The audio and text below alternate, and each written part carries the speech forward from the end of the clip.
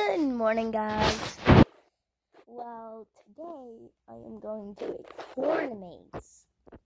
And I'm going to be filming the experience, but not there, but I'm going to be talking about it when I get back.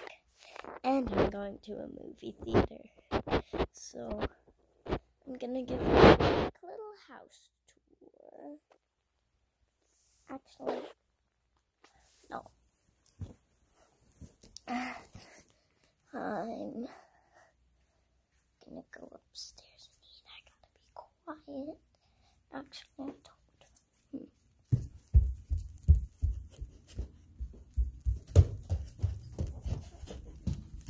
Hey, Poppy. Duke. What's up, bitches? That was my sister saying the B word. That's 20 minutes. See you tomorrow.